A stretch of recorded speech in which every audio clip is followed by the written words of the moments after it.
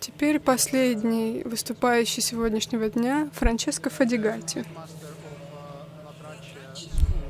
uh, Он из э, школы Латрача, он ее руководитель. Школа находится в Италии, недалеко от города Бергамо. Он преподавал литературу, э, итальянскую литературу и уже много лет учится играть на электронной, гита- на электронной гитаре. Он играет на гитаре в э, группе преподавателей. Очень жаль, что Франческо говорит на итальянском. К сожалению, он говорит на итальянском, и у нас два перевода на итальянский и на русский. К сожалению, нет перевода на английский, и я прошу за это прощения.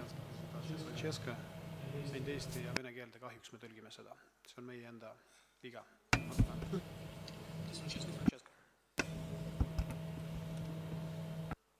Buonasera, buonasera a tutti. Добрый день.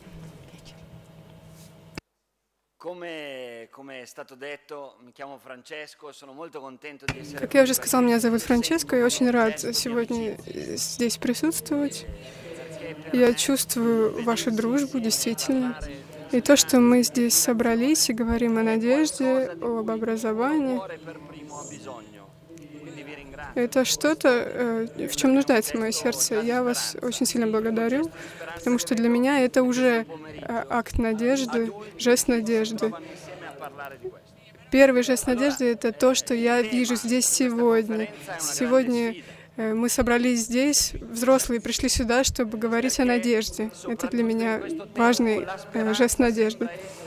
Но сейчас образование — это вызов в современном мире. И надежда кажется чем-то невозможным.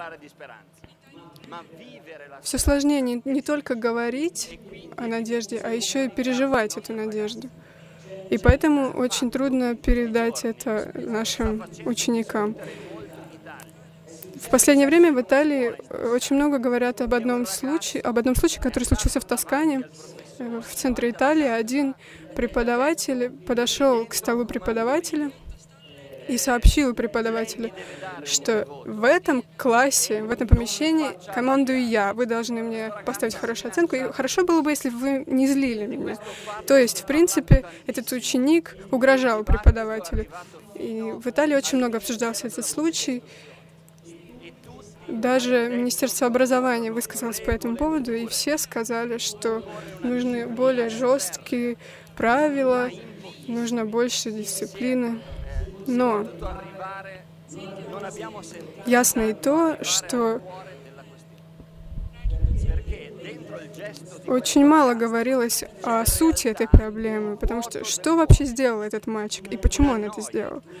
Все это произошло потому, что внутри у него какое-то какая-то пустота, какая-то скука, безнадежность, э, которая э, проявилась э, насилием. Главная причина насилия среди учеников это то, что у них внутри какая-то пустота, экзистен- экзистенциальная пустота, которая приводит их к насилию. Поэтому они и такие, э, такая злость у них.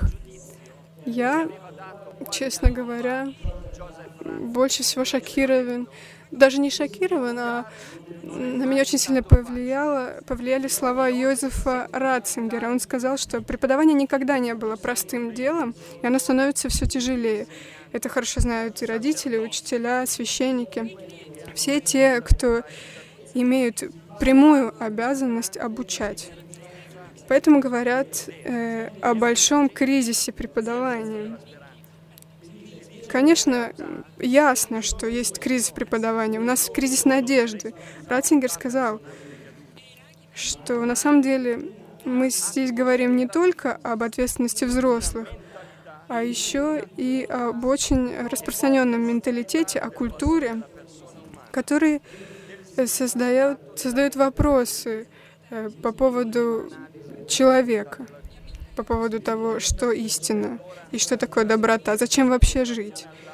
Поэтому все сложнее передавать э, что-то важное, что-то фундаментальное от одного поколения к другому. По-моему, Ратцингер здесь э, говорит о сути этой проблемы, потому что действительно у нас кризис преподавания. И этот кризис преподавания касается нас всех. Это не просто э, вопрос для специалистов и педагогов. Это касается нас всех, потому что э, последствия этого кризиса я вижу все время в обществе. Два примера. Первый. Э, родитель подошел ко мне и, сказал, что ребенок никогда не выходит из своей комнаты, все время сидит в интернете. Вы тоже знаете таких, такие случаи, я уверен. Почему он это делает? Потому что он боится выйти из комнаты, потому что он боится э, настоящей жизни. Но когда он играет в видеоигры, он герой, он главный герой, настоящий герой. А если он сталкивается с настоящей жизнью, он ее боится. И, честно говоря, Э, во мне э, вызвало э, страх то, что я вижу этот тот самый страх в глазах матери. И этот страх касается и детей, и нас самих, взрослых. Второй пример. Мы были на экскурсии в Риме с классом. Мы обратно вернулись, возвращались из Рима в вагоне поезда. Дети там все сидели вместе, и я вдруг увидел, что у них был, была проблема в общении. Они не знали, как себя вести вместе. Они чувствовали дискомфорт. И э, этот дискомфорт проявился э, оскорблениями. И в итоге все вытащили свои мобильные телефоны, и они смогли таким образом убежать от своих проблем. Они, что они, что они делали? Они общались между собой, с тем, кто сидит рядом, напротив тебя. И для меня это очень важно, потому что страх, потому что кризис преподавания э, состоит в, э, в первую очередь в страхе перед реальностью, и второе — проблемы в общении. Поэтому и нужно давать детям надежду. Что касается моего личного опыта, Конечно, у меня нет золотой, золотого решения этой проблемы, но я считаю, что важно, чтобы я сам прошел какой-то путь ежедневно, чтобы найти сам, самостоятельно найти э, надежду, чтобы я нашел надежду. Наша школа э, основывается на учению Дон Джус, э, Дона Джусани. Он написал книгу «Риск образования». И он говорит, что надежда очень важна. И тут важен Э, важны переживания и взрослого, и ребенка, и сердца обоих. Поэтому очень важно самим переживать э, надежду, проживать надежду, потому что если хочу передать это э, своим ученикам, то я сам должен это проживать. Потому что в обратном случае я могу, говорить об этом сколько угодно, но я этого не смогу передать. Второй пример. Хулиан Карон, известный священник, который Э, руководит сейчас одним большим движением, он говорит, что преподавание — это передавание себя. То есть нужно передавать э, свое понимание реальности. И появляется вопрос, если я смотрю на себя со стороны, у меня есть э, какая-то надежда в отношении себя, потому что если у меня ее нет, то я не могу и передать эту надежду. Приведу некоторые примеры из жизни, чтобы немного проиллюстрировать то, как я, э, не пол, э, я обычный человек, э, переживаю надежду каждый день. Давайте подумаем, что изменилось в нашей жизни, сделало нас такими, какие мы есть. Потому что я не отличаюсь от своих э, учеников. Я тоже в свое время боялся, был неуверенным, но что-то изменило меня в жизни. Поэтому я хотела бы у вас спросить, почему мы все сегодня здесь собрались, почему мы занимаемся темой образования сейчас, почему это нас так интересует? Может быть, потому что в нашей жизни что-то произошло, что э, заставило нас понять, что образование это важно, потому что в обратном случае мы бы здесь не собрались. Во всяком случае, со мной это было именно так. Образование, а точнее надежда, пришла в мою жизнь в 14 лет. Когда мне было 14, я встретился с, встретился с одним священником, который был и преподавателем, и в его глазах я увидел это пламя надежды, этот огонек. И мое сердце тоже жаждало этой надежды. И никакие правила, э, и предписания никогда не говорили об этой надежде. Я об этом нигде, этому нигде не учился. Но когда я увидел этого человека, как он говорит, как он поет, как он наслаждается э, реальностью, то он приковал меня. Он э, притянул меня к себе. И вот это притягивание, это очень важно. И это было настолько красиво и настолько по-человечески. И я хотел проводить время с этим взрослым человеком. Я хотел ему подражать, я хотел учиться у него, потому что в его глазах я видел то, что я искал. Я видел эту живую надежду. Надежда жила в нем. Именно поэтому я начал с ним общаться. Причем э, в последний раз, э, когда Надежда э, во мне родилась, это было сегодня, когда я встретился с вами. Вы, кто вы говорили до этого, психологи, встреча с вами породила во мне надежду, потому что я видел, какие настоящие живые люди, какими настоящими живыми людьми вы являетесь. Мы э, занимались э, духовными упражнениями недавно, и, и тогда это был другой пример, когда я увидел, эм, когда во мне родилась, э, родилась надежда. Поэтому каждый день я пытаюсь эм, зажигать этот огонек надежды. Вы все понимаете, все слышите? Да, продолжим. Примеры, которые касаются Фейсбука. Несколько месяцев назад мой бывший ученик отправил мне письмо в Фейсбуке. Этот ученик, что касается времени его обучения, он был абсолютно безнадежным. Мне казалось, что он э, ничего не усваивает. Сейчас ему 18, и я пять лет ничего не слышала о нем. Он, но он связался со мной в Фейсбуке, я был очень удивлен. И э, послушайте, что он написал. «Э, Добрый вечер, учитель. Вы знаете, я во вторник вернулся из школы домой и шел снег. И мне вдруг вспомнился один раз, когда вы э, с нами пошли во время снегопада э, на один холм. Этот э, холм находится между нашей школой и стадионом. И я помню, как пять лет назад мы все там были, на холме, мы молчали и слушали снег. И в это время вы прочитали нам стихотворение. И я даже помню это стихотворение немножко, поэтому я вспомнил, э, нашел в интернете, и я обнаружил, что Ада Негри — это автор этого стихотворения. И для меня это было невероятно снова прожить все это. Я надеюсь, что вы, вы, вы тоже рады, когда вы читаете и еще раз это проживаете. На самом деле я был так удивлен, когда это увидел, потому что несколько лет назад я потерял надежды в отношении этого ученика, но что-то от меня осталось у него в сердце.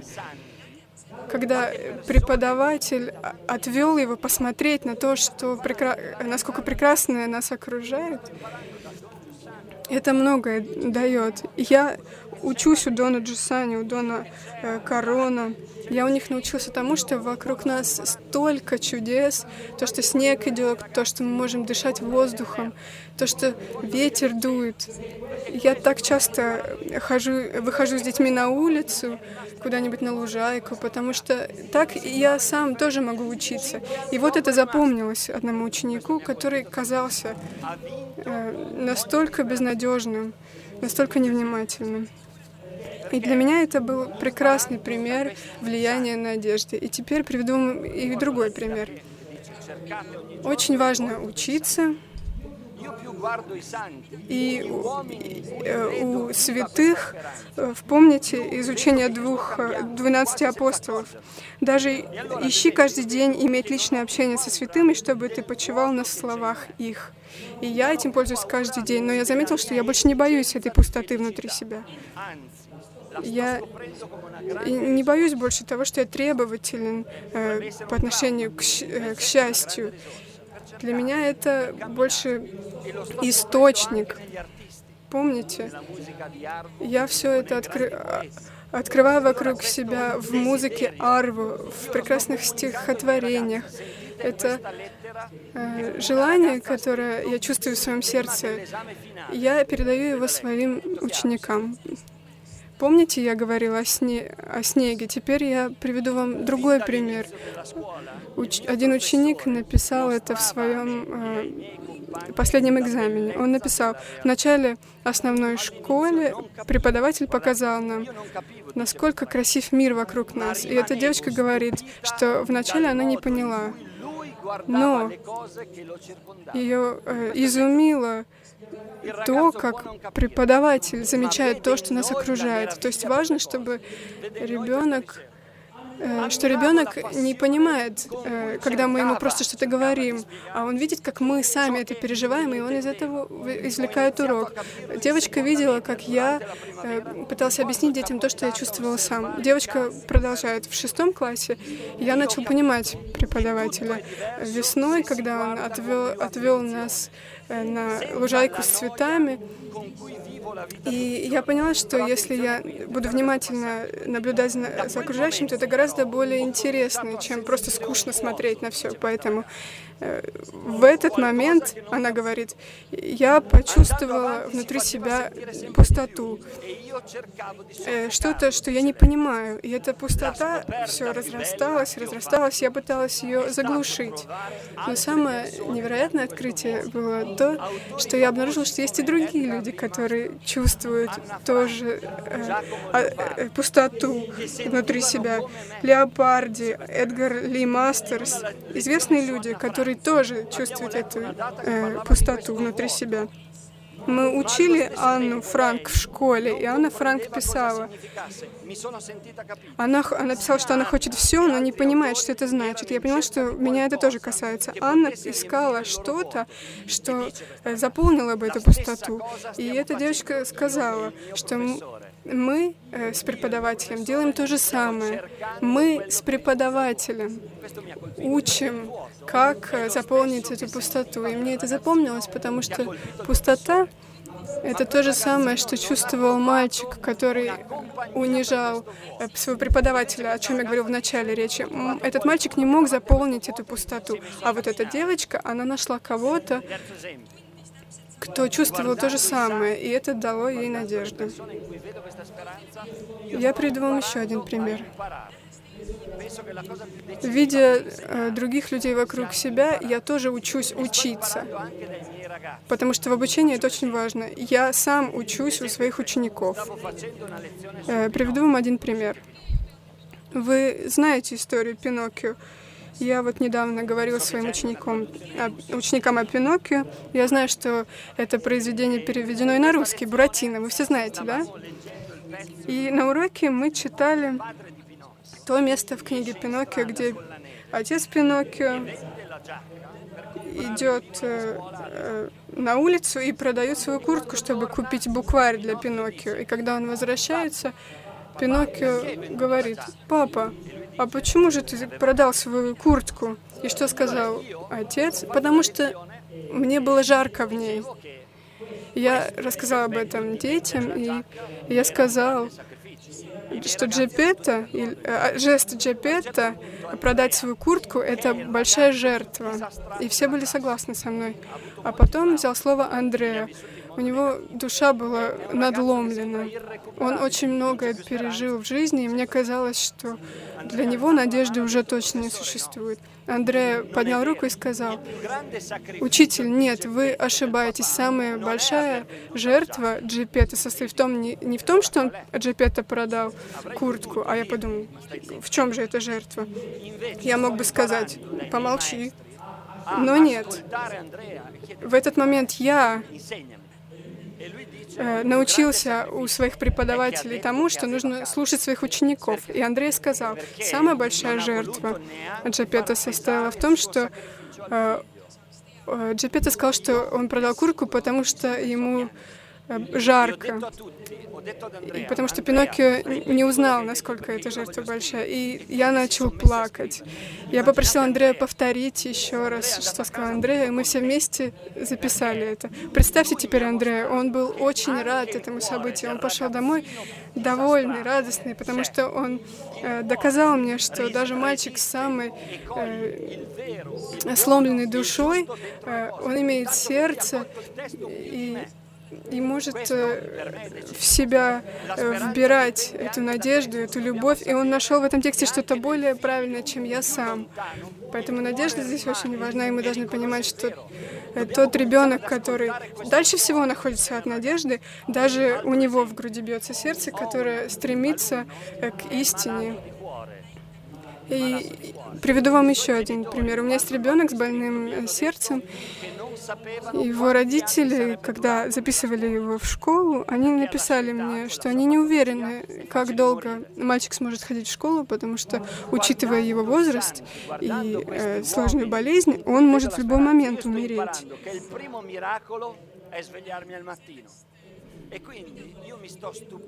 И исходя из того, что, если я буду исходить из того, что я выучил э, в своей жизни, это то, что самое большое, чудо, самое большое чудо — это то, что я утром могу проснуться. И я пошел на урок, увидел 28 учеников, я был так рад. и просто сказал, как же прекрасно быть. И все замолчали. Часто, э, часто мы говорим что-то важное, но ученики не замечают этого, потому что они не слушают слова на самом деле, они слушают сердцем. И тем утром мое сердце действительно говорило с ними. И я сказала, как же хорошо быть живым. И с этого времени Ученики мне каждый день говорили, «Здравствуйте, учитель, как же хорошо быть живым». И я сам того не желая, передал им надежду. И самая э, прекрасная история случилась с этим ребенком э, с больным сердцем. Его звали Джованни. На Новый год мама попросила Джованни э, сказать тост. И Джованни сказал, мой преподаватель говорит, как же хорошо быть живым. И знаете, он, он прав. Это просто прекрасно. И представьте себе, этот мальчик не просто повторил то, что я сказал, а он сам подтвердил это. Он сказал, что учитель сказал, что это хорошо быть жить, и что я это подтверждаю. Подумайте об этой надежде, которую он чувствовал э, с такой болезнью, и сказал, как же хорошо быть живым. Если вы еще не очень устали, я приведу вам последний пример. Последний пример касается ученика Матео. Матео — это мальчик, который пришел в нашу школу, и он просто не мог в классе оставаться на месте. Через пять, каждые пять минут он должен, э, должен был идти в туалет, потому что он боялся реальности, он боялся всего нового. Каждый раз, когда он должен был что-то доказывать, он начинал плакать. Мы говорили с психологом, и психолог сказал, что здесь дело, здесь нет болезни, здесь проблема образовательная. И когда я встретился с э, родителями мальчика, я увидел то же самое в его глазах, тот же самый страх. Через три месяца Матео уже мог 20 минут э, проводить в классе, через еще несколько месяцев полчаса. И в конце года, в апреле, в один прекрасный день, Матео ждал меня в коридоре и сказал, «Учитель, а вы помогите мне лучше учиться?» Ко мне подошла мама и сказала, «Я не знаю, что происходит. Утром Матео просыпается и начинает свистеть. И даже психолог не знал, в чем дело. Но психолог сказал, что действительно действительно с Матео что-то происходит. Он делает домашнее задание. И что же там случилось? Мы обсудили это дело с психологом, мы обсудили, что каждый день Матео получает много доверия с нашей стороны. Как я, так и коллеги, мы знаем очень хорошо, э, в чем как состоят наши ошибки. И поэтому мы не боимся того, что у Матео, Матео тоже совершает ошибки. И я хочу вам сказать, что самая большая ошибка Матео состоит, наверное, в том, что в седьмом классе он э, сделал что-то э, действительно плохое. Его одноклассник э, подошел ко мне и сказал, посмотрите на его руки. Он начал резать свои руки. Я посмотрел и действительно увидел, что у него разрезаны руки. Матео попросил разрешения выйти в туалет. Мы вышли с ним вместе. И мы по коридору ходили туда-сюда, мы ничего не говорили. В полной тишине ходили туда-сюда. А почему мы молчали? Потому что что можно сказать ребенку, который начал себе вредить, что он дошел до этого? Что, что мы сделали? Э, молча. Что произошло во время этого молчания? Я э, пытался молиться э, святым и проживать, э, переживать надежду, которую Христос дает мне каждое утро, потому что только благодаря этой надежде я могу э, смотреть в лицо своим ошибкам и чужим ошибкам. И в один момент Матео э, перестал молчать и спросил, «Учитель, вы думаете, что я ненормальный?» Я сказал, «Нет, я э, очень забочусь о тебе. И поверь мне, я не думаю, что ты э, стоишь меньше, как-то меньше достоин из-за того, что ты делаешь. И через некоторое время пришла мама за табелем и сказала, вы знаете, Матео мне все рассказал. И теперь я хочу зачитать вам письмо, которое, которое мама э, через три года после того, как Матео пришел в школу, мне написал. Она пишет, уважаемый э, господин Фадигати, каждый раз, когда мы встречаемся, у меня ком стоит в горле, и я не могу сказать ни слова, поэтому я решила вас поблагодарить э, в письме. Я записала Матео в школу Латрача с большой надеждой. Я хотела что-то изменить в его жизни, в своей собственной жизни, в жизни нашей семьи, потому что каждый, э, каждый день э, стал просто невыносимым у нас дома. Матео э, погряз в болоте. Он когда-то был веселым ребенком, улыбчивым, а теперь он страдал от проблем. И мама говорит, я не могла его защитить, э, облегчить его э, страдания. У меня была надежда, но я никогда не могла надеяться на то, что я встречусь с такими прекрасными людьми, э, как, как вы, как преподаватели в вашей школе. Э, я вам могу это подтвердить. Мы хорошие люди, но мы, мы и дальше развиваемся. Никогда не видел таких спокойных людей, которые никогда никого не винят ни в чем, которые вызывают интерес у детей, которые сами интересуются так сильно моим Э, сыном, что они не устают э, видеть хорошее в нем. Я пришел к вам, я пришла к вам, когда я э, сама э, уже почти потеряла надежду, я почти сдалась, но вы так хорошо о нем отзывались, вы так его описали, э, как я бы сама никогда не предположила, что можно так сказать. И э, именно смелость Э, это то слово, которое я ассоциирую с вами. Я хочу вас поблагодарить. Вы очень важный человек в нашей жизни, и я благодарю Бога за то, что наши пути пересеклись. Я вам очень благодарен. Эта женщина использовала мой метод. Она э, нуждалась в надежде и пошла на ее поиски. И я вижу это везде. Я вижу также то, что когда я сам понимаю, что я нуждаюсь в этой надежде, когда я смотрю, э, обращаю свой взор в сторону святых и тех людей, э, в которых живет эта надежда, то эта надежда становится и моей. И таким образом я понимаю реальность по-другому, себя понимаю по-другому, и свои ошибки тоже э, понимаю по-другому. Я замечаю что-то новое в стихотворениях, в поэтах, что ученикам нужно, это взрослые, которые переживают сами надежду, в которых есть надежда. Что касается преподавания, преподавания э, вера — это э, мой самый главный инструмент. И каждый день, когда я принимаю эту надежду, которую мне дает Христос, только тогда я могу ее передавать дальше. Спасибо.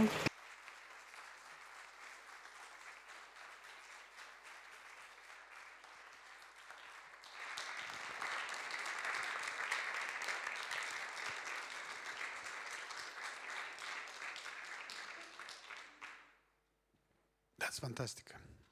That's absolutely fantastic. Any questions?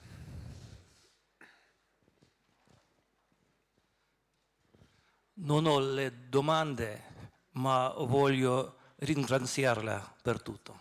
Grazie. Mille, grazie. Un segno di speranza questa mattina è stato ascoltare i vostri ragazzi, i vostri bambini На самом деле, сегодня знаком надежды было также и то, что я увидел ваших учеников и увидел, как они поют. Потому что тогда я начал понимать, э, какая э, красота нас э, окружает, и это тоже позволяет расти надежде. Я должен проходить километры, чтобы во мне зародилась надежда. Я вижу А Христа у в своих друзьях, вопрос. поэтому спасибо вам большое. Э, Я слушаю очень внимательно, и то, что, то, о чем вы говорите, это проблема э, всего мира, не простите, только, пожалуйста. не только. Простите, пожалуйста. Ok, non lo- it's good. Можете, пожалуйста, сначала начать? Да, хорошо. Грация, Франческо. А, То, о чем вы говорите, это не проблема педагогики только одной, это проблема всего мира. А каким образом можно вложить надежду преподавателям, чтобы они жертвовали своим сердцем? Практически все решается на уровне жертвы. И, и теология, и педагогика. Если нету жертвенности, нету положительного результата. Как эту надежду передать самим педагогам?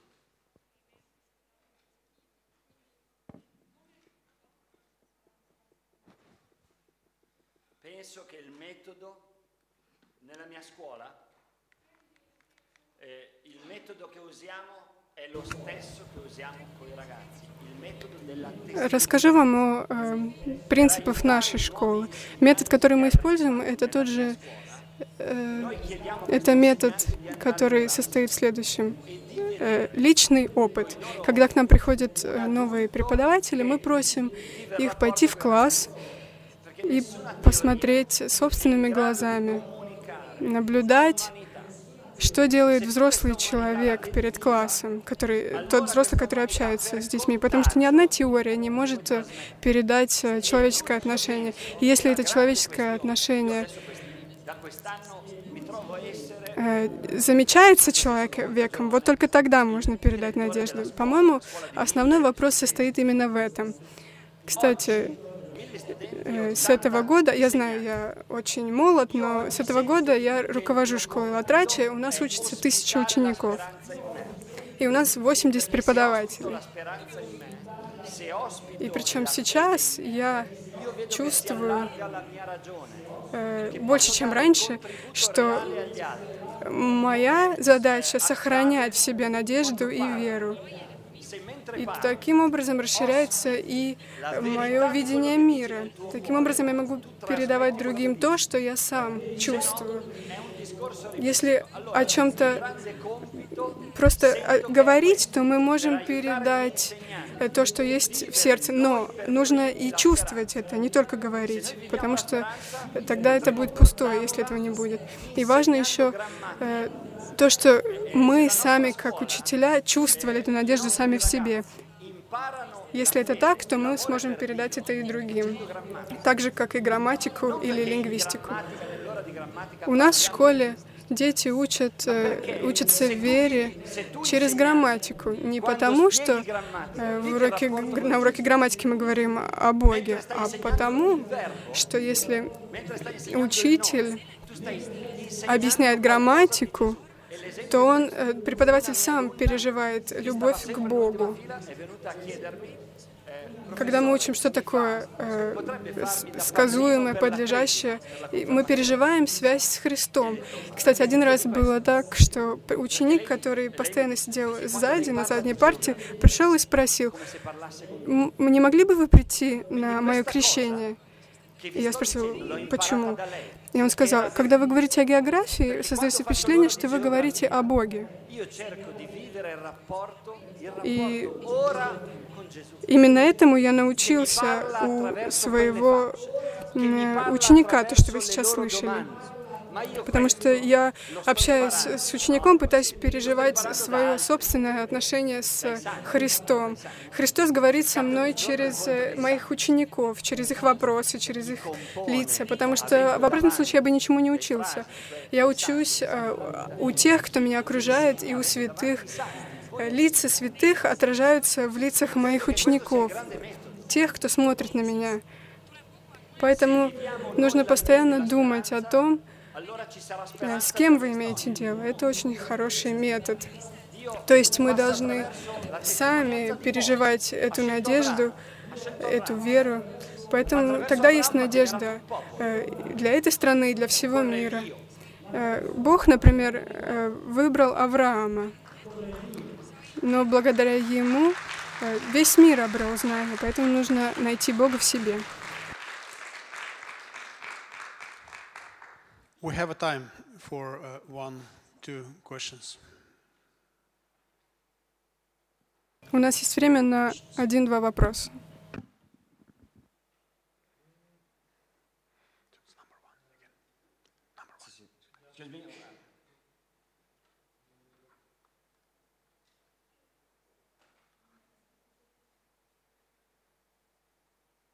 А, Спасибо большое, Франческо. Это была фантастика. Ваши рассказы, ваши истории. А я все о наболевшем. Э, Я понимаю, школа большая, и у вас наверняка тоже есть очень сложные ученики. И хотелось бы, чтобы вы поделились своим опытом, как вы, как вы справляетесь со своим внутренним огнем, о котором мы говорили, так как я знаю, итальянцы народ очень темпераментный. Вот. И э, поделитесь опытом, как вы общаетесь с такими учениками, что вы пытаетесь донести им, как вы учите их быть более, ну, как вы укращаете их, если можно это слово применить. Спасибо.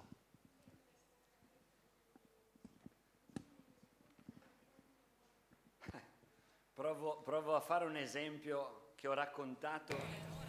Приведи, приведу вам примеры, о котором я говорила Норе и Арву несколько лет назад. Во-первых, я скажу, что у меня нет решения на все, нет ответа на все, но я могу действительно поделиться своим опытом. Метода, э, согласно методологии Джусани, самое главное — это опыт. Каждый день я описываю этот опыт, который образовывает меня. Я учусь на фактах. И факт состоит в том, что один ребенок разбил глаз другому. И понятно, что я должен был вмешаться, должен был обсудить это с обоими мальчиками, потому что глаз был раскрашен. Но это случилось два года назад. Но это был важный момент. Я в первую очередь поговорила с мальчиком, который у- э, нанес удар. И в этот момент я сам понял, что я должен был действительно слушать этого мальчика, потому что когда что-то такое происходит, нам кажется, что да, мы знаем, что надо сказать, но на самом деле в этот момент самым главным было слушать э, и просить Бога дать мне понять. И Бог услышал меня. Я спросила мальчика, почему ты это сделал? Я действительно хотела знать, почему он это сделал. Он тоже был э, с- реб- ребенок с надломленной душой и с тяжелыми, с тяжелым прошлым. И он сказал, я ударил его, потому что я хотел, чтобы он оставил меня в покое. Они все время издеваются надо мной. Я хотел, чтобы это закончится. Я просто хотел, э, чтобы было спокойствие. Сам мальчик дал мне ключ к тому, как ему помочь. Потому что так у меня было два варианта. Либо я могу помочь ему э, молитвой, и второе, я мог дать ему научиться на своем собственном опыте. И это мне показался лучшим вариантом. Он сказал, что хочет э, добиться спокойствия, и он стоял передо мной, дрожал. Я спросил, ты нашел этот мир, это, это спокойствие? Ударив другого кулаком, ты нашел это спокойствие? Он сказал, нет, учитель, мне так плохо. И тогда я понял, что aiutarlo. как учителю Бог отправил мне решение, как помочь этому мальчику. И я сказал ему, что есть более мужественный способ передать эту информацию другому. Не обязательно бить его. И на это он спросил, а что, для этого нужно быть взрослым? И я понял, может быть, действительно, но на самом деле Бог понял мне, э, Бог э, помог мне, э, благодаря этому мальчику. Я часто молюсь, э, слушая, потому что так Бог мне помогает. И потом зашел другой мальчик, э, тот, у которого глаз был раскрашен. Он сказал, «Учитель, не наказывайте его, я заслужил наказание». Я очень удивился. И тот, кто ударил, сказал, нет, нет, я ударил, я должен быть наказан. И другой говорит, нет, это я же издевался над тобой, я должен э, быть наказан. И, и они начали спорить между собой, кто должен быть наказан. Я этому очень удивился и сказал, «Э, послушайте, хватит. Э, теперь вы чувствуете себя более взрослыми, когда вы защищаете правду? И вы даже рискуете тем, что вас накажут, но вы готовы взять этот риск, этот риск на себя. Как вы думаете, вы более взрослые сейчас или 10 минут назад? И они сказали, сейчас.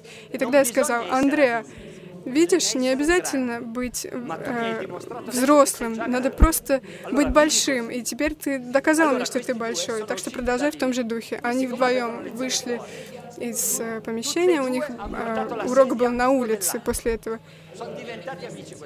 То есть они стали друзьями, потому что каждый взял другому, для другого стул. Самое сложное в таких э, трудных моментах э, с учениками — это то, что нам не нужно отталкиваться от различных оценок. Нам нужно доверять своей вере, своему пониманию и желанию учиться, потому что через реальность Бог дает нам понять, что мы должны сделать, как поступить. И мы помогаем нашим ученикам, когда мы э, помогаем им учиться на своем собственном опыте. Как сказал тот мальчик, «Мне так плохо». Это, э, конечно, может быть, не очень по-итальянски. Конечно, он говорил с итальянским темпераментом, не как я сейчас э, говорю. Но это э, приходит из христианства. Я очень многому научился у Дона Карони, у Дона Джусани, у своих друзей. Я вижу этот внутренний огонь действительно вокруг себя. Франческо.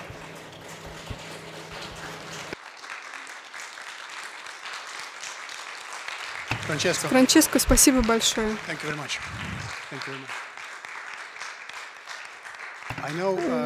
to you, I know, Слушая вас, я знаю, что я хотел бы приехать в вашу школу на несколько дней и просто как э, муха слушать, э, му- муха на стенке слушать это все. А, я Спасибо большое. Thank you very much. Кстати, Ирина и Ливика приезжали к нам в школу. И таким образом и возникла дружба между нашими школами. Большое, большое спасибо всем. Thank you. Fantastic.